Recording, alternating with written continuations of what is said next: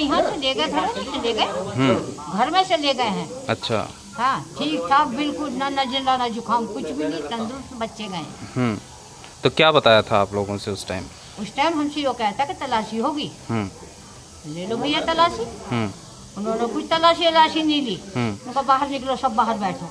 बाहर बिठा लिया और ले गए अच्छा। ले गए फिर। तो जो देवर को आपके देवर को उठा उनकी शादी हो गई थी? हाँ और? अच्छा। देवर दे, दौरानी ये खड़ी नहीं है ये देख। अच्छा। इसका आदमी था और लड़का और हमारा लड़का। हम इसी घर में हैं सब। फैसला बेटे मतलब सही नहीं है। हम्म। फैसला सही नहीं है। खून का बदला खून होना चाहिए।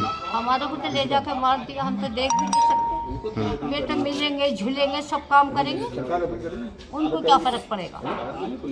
फ़र्क तो हम पे पड़ा था। हमारा दिल आज तक दुखता है रोते हैं। जब याद आए रात को नींद भी नहीं आती नींद में बग जा हमारी। नौ आदमी गए थे। आपके घर से? हाँ घर से। हमारे तो हमारा खानदान ही है सब सारा मेरा लड़का गया अच्छा। क्या नाम था? नाम भी इस्लामुद्दीन था उसका। अच्छा। और अल्लाह की तरफ़ को हाथ थे उसके दुआ मांग रहा था। कम वक्त ने दुआ की ना मांगने ली अच्छा। हाँ ऐसी बात है हमारे साथ भी जैसे वो बैल चल रहे हैं उनके वो हमारे सब साथ ही हैं। तो हम गए वहाँ सड़क पर। हाँ। ऐसे ऐसे वो गोली मार कितने बारे एक कोई लाइयो और कहाँ है? हमसे कह रहे हैं हम्म। कितने लाइयो और कहाँ है? भैया आपको क्या बता रहा बस दिमाग खराब हो क्या नाम है आपका? मेरा नाम जमालुद्दीन है। अच्छा। मेरा सबसे बड़ा बेटा कमरुद्दीन था। जी। जिसको पी घर से पकड़ के ले गए थे। और मुरादनगर जाकर गोली मार कर नहर में फेंक दिया था। हम्म। वो मेरे पास जब से वापस ही नहीं आया अच्छा। उस टाइम आपने अपनी आँखों से देखा नज़ारा क्या था क्या नहीं था? नज़ारा भाई साहब यहाँ बिल्कुल ये समझो कि तबाही थी पूरे महल्ले के अंदर। हम्म। बिल्कुल क्योंकि सारा महल्ला खाली कर दिया था उन्होंने। जितने भी जवान लड़के थे या बूढ़े थे बिल्कुल एक भी नहीं रहा था। सिर्फ़ लेडीज़ थी और कोई नहीं था। तो ये वाले को उम्र कैद हो गई तो बड़ा अच्छा लग रहा है। अच्छा। कम से कम सरकार ने हमारी सुनी। और फैसला देर से आया हम्म लेकिन फैसला हमारे हक में आया। और सही आया। तो हम मजलूम हैं उन्होंने जाति करी हमारे साथ जो हमारे रक्षक थे वही भक्षक बन गए।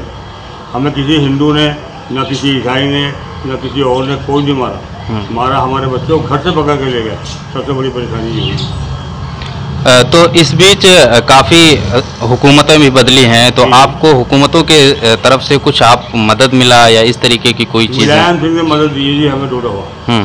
एज ए मदद जवाब में रिक्वेस्ट करी जाके साहब हमारे पास तो पैसे चाहिए हमें पैसे नहीं है तो पाँच लाख की मदद दी हमें। वो विश्वास से दी थी तो उसमें हमारा खाना पीना भी है और प्लस उसका कोर्ट का जाने आने का खर्चा है वहाँ रास्ते में खर्च होता है, खाना पीना होता। तो उसका भी ठीक है आपको पाँच लाख की। अच्छा आपकी आप परचून की दुकान करते हैं तो ज़ाहिर है कि अ, पैसे के एतबार से बहुत कैसे क्या चल रहा है? कमज़ोर उसकी वजह ये है कि मेरा बड़ा बेटा जो मारा गया है ना हम्म। सारा कारोबार उसी के हाथ में था। और दूसरे कारोबार थे जो मैंने बाद में जब मुझे देखा मैंने रोटी मिलनी बंद हो गई। हम्म। तो दुकान भी कहीं और जाकर के अपने घर में कर ली कि इसमें कम से कम रोटी तो चल रही मेरी। अ, आपके और को और कोई बच्चा नहीं है? बच्चा है खड़ा हुआ है ये बीमार है। अच्छा। हार्ट अटैक भी है इसे हार्ट का ही मरीज़ है और फिर पैराई भी है। अच्छा तो क्या नाम था उनका जिनको इस केस में मारा। अच्छा कमरुद्दीन को। तो कमरुद्दीन की शादी हो चुकी थी? जी एक साल हुआ था। अच्छा। एक साल के बाद उसकी बीवी अपने घर चली गई। हाँ। शादी कर ली अच्छा तो बच्चे नहीं थे कमरुद्दीन के? नहीं। बच्चे हमारे यहाँ कोई नहीं हुआ। अच्छा। शादी कर ली उसमें क्या बच्चे हैं कहाँ है कहाँ नहीं पता। अच्छा तो फैसला आया उन लोगों को उम्र कैद की सज़ा भी हो गई। तो इसको कैसे देख रहे हैं आप? बहुत देख रहे हैं जी। हम्म, कि हमारे कम से कम ये हाई कोर्ट ने फैसला दिया और सही फैसला दिया जो हम चाह रहे थे। मेरठ के हाशिमपुरा के उस इलाके में मौजूद हूँ जहाँ पर उन्नीस सौ सतासी बाईस मई को बयालीस नौजवानों को पीएससी वालों ने उठा लिया था और बेदरे गोलियाँ चला के उनको कत्ल कर दिया था। आज दिल्ली हाई कोर्ट ने फैसला सुनाया है और उम्र कैद की सज़ा सुनाई है, लेकिन मुतासरा लोगों का कहना है कि उम्र कैद की सज़ा से हम खुश नहीं हैं, बल्कि ऐसे लोगों को फांसी की सज़ा देनी चाहिए। ईटीवी भारत के लिए खुर्शीद अहमद, मेरठ।